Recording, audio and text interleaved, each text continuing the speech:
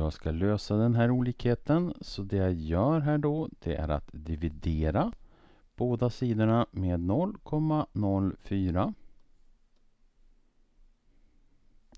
Så då får jag att x är större än 20 delat med 20 delat med 0,04 och det får jag räkna ut med räknedosan.